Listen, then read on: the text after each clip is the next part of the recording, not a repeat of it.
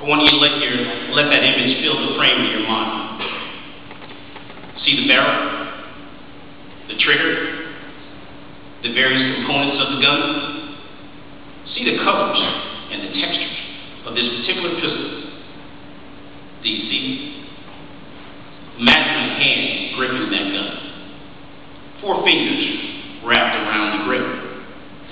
One finger hovering near the trigger. I want you to see it up close.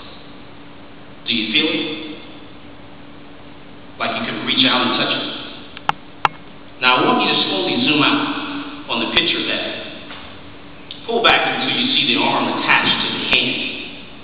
Then until you see the shoulder attached to the arm. Pull all the way back until you see the face of the person holding the gun. Do you see the person? Whom do you see? Is it a police officer? A criminal? A soldier? A terrorist? Is it someone you know? A friend? Could it be a relative? An enemy? Is it you? Can you see what the person is aiming at? Is it a paper target? Again, is it you? In one sense or another, every participant in the debate over guns in America is fighting for or against the person holding that gun. If you see your grandmother pointing the gun at an assailant, you likely view the Second Amendment a necessary safeguard of a vital liberty. On the other hand, if you see an assailant pointing the gun. You like to see the Second Amendment as an unnecessary obstacle to public safety.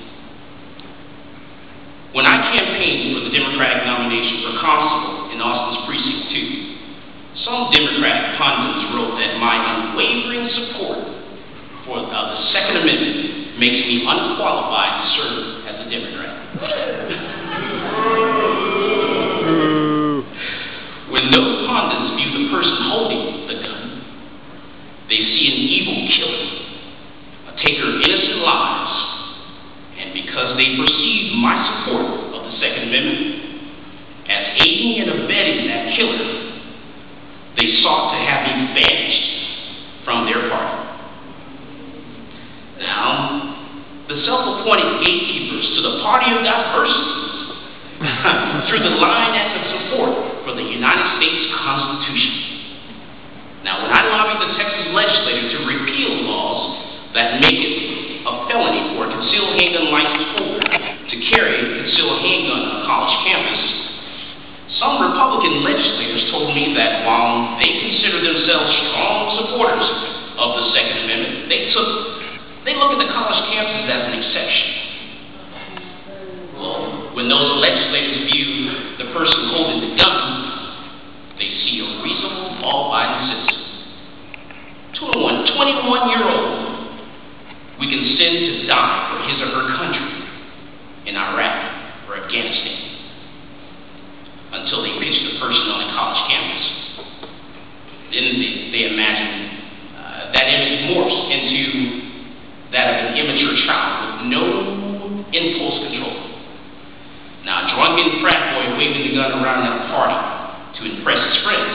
Didn't matter to those legislators uh, that pending legislation would not have changed who could carry that gun.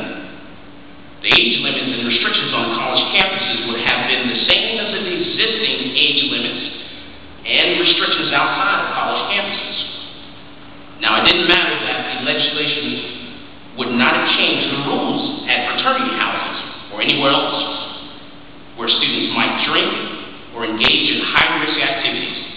Now, just like the Democrats, Democratic pundits, the, the Republican legislators were unable to look past their own image of the person with the gun. Now, so they decided to carve out one more seemingly minor exception to the United States Constitution, denying individual rights on the basis of personal prejudice is not acceptable. Our nation needs elected officials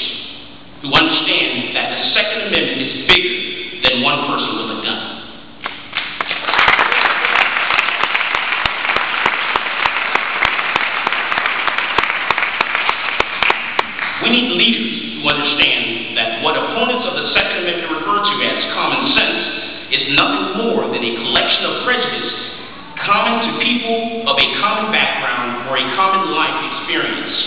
America needs a government that views the Second Amendment not as a nuisance, a necessary evil, or something that must be downplayed and circumvented at every opportunity, but as a cornerstone of liberty and a guarantee of a basic human right that must be safeguarded at any cost.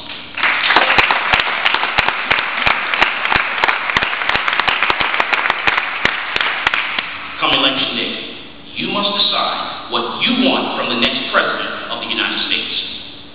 Do you want a president who understands the complexity and depth and purpose of the Second Amendment?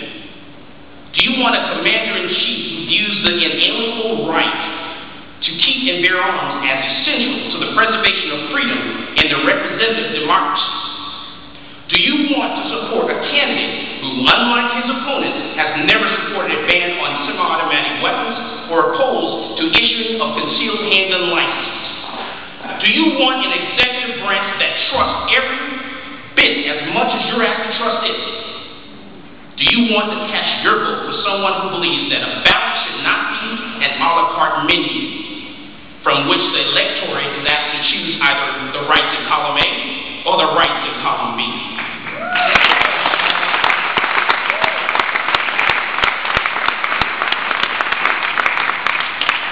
If so, your only choice on November 6th